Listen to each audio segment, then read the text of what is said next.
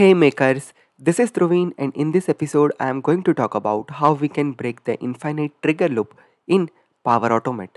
This is the most common problem that happened with every data source.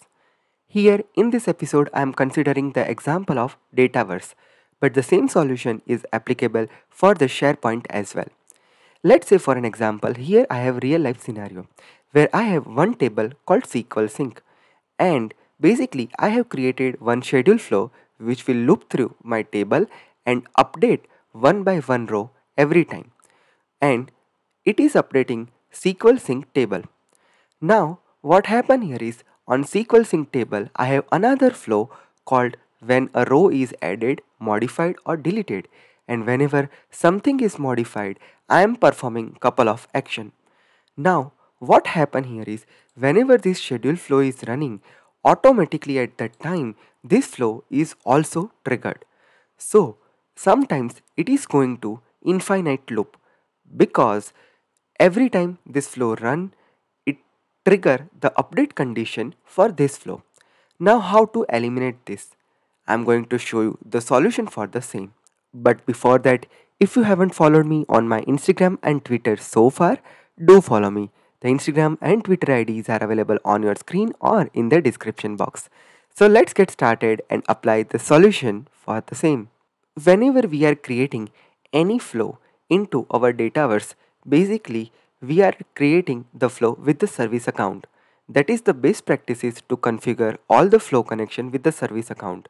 The reason is that let's say in your organization if you are configuring the flow with the individual account and let's say the employee left the organization at that time you need to reconfigure all the connections again and again. So the best practices for any organization to configure the triggers is using the service account. Now in my case you can see that this is one of my service account which is dhruvinsha at digitaldhruvin.onmicrosoft.com. Now what happened here is I have configured all my flow with this account. Now what happened here is whenever this schedule flow is running basically it is updating that item using my service account connection which is through Dhruvin Shah. Now to break the infinite loop we need to use this technique. Whatever the user let's say my service account user is through Dhruvin. So if anything is updated through Dhruvin's account do not trigger this particular flow. This flow should only trigger if any other user is updating the item and that is how that infinite loop will be broken. Now how to add that condition? Let's see. To add any trigger condition you simply need to click on the ellipsis of the trigger and then you simply need to click on the setting here over here. When you click on that you will be having an option called trigger condition which specify one or more expression which must be true for the trigger to fire. Now over here we need to apply our trigger condition. Now over here I need to apply that if this flow is executed with service account means Dhruvin's account I don't want to trigger this flow and that is how that infinite loop will be broken. Now here we have used Dataverse as a data source. So first of all, we need to identify that what is the user ID for this particular trigger. So let's test this schedule flow first. So I'm just going here and clicking on manual trigger at this moment and clicking on run flow. The flow has started running and it ran successfully. Now if we go to the update row, we can see that update row has been done successfully. And if we check the output section over here, we will be getting the modified value over here. So let's see. So if we scroll down a little bit, you can see that modified on, modified by, all the values are available over here. So over here, you can see that modify value. So what is the display name? Dhruvin's user has modified this thing. And what will be the ID? Modified by value is this one. Means GUID for my user is this one. This is the thing that we are going to use as a part of our trigger condition. If modified value is this one, do not trigger this flow. And now if we go our modified flow here, let's see. Obviously you can see infinite loop is triggered and many times this flow has started triggering, right?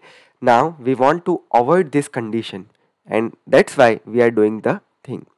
For that, simply go to edit again, go to ellipsis, go to settings and apply the trigger condition. Now, in trigger condition, the very first thing is that you need to write at the rate keyword. That is the most important thing. And after that, you need to pass modified value. So, how did you find the modified value? So, you need to use exit same key underscore modified by value. You need to find it from your uh, existing flow and you need to write the exit same key. And for that, you need to at the rate. And then let's just add a condition first. So the condition would be like this. Trigger body modified by value then comma and whatever the GUID that you copied you need to paste it here. So it will basically triggered only for this specific user. But now we need the opposite from that.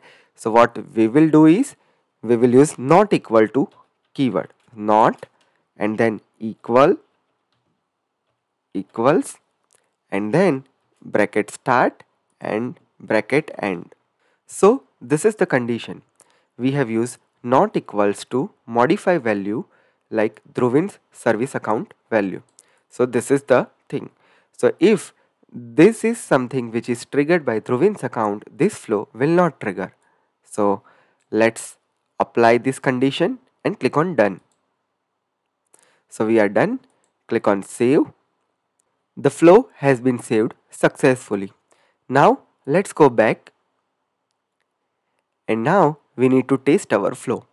So let me just trigger my schedule flow again and let's see if it is going to infinite loop or not. And let's check the flow run history over here. So over here you can see that earlier it was triggered 50 seconds ago 53 seconds ago right and now let me just trigger my schedule flow again over here so I'm running my flow and clicking on run flow. Let's see what will happen. So this flow started running over here. Let's check the run. And this flow ran successfully. It updated a row with Dhruvin's account. And now let's go to my next flow which is Dataverse trigger flow and let's see if it's executed or not. So last time we have seen this thing. Let's try to refresh the flow Still, you can see that the flow hasn't triggered.